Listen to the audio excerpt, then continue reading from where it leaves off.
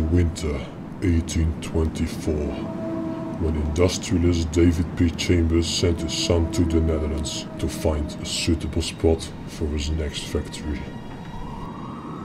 While his son was roaming through the Netherlands, he stumbled upon a forest near a small industrialized town. Villagers told him not to enter it, but he did not fear the woods.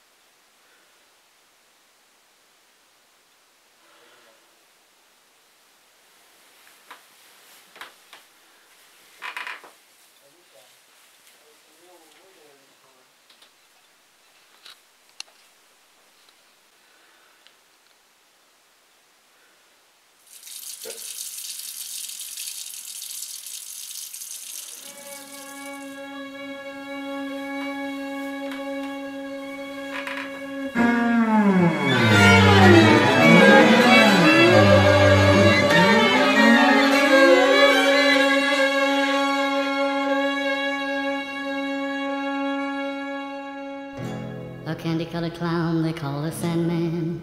Tiptoes to my room every night. Just to sprinkle stardust and to whisper, Go to sleep, everything is alright. I close my eyes, then I drift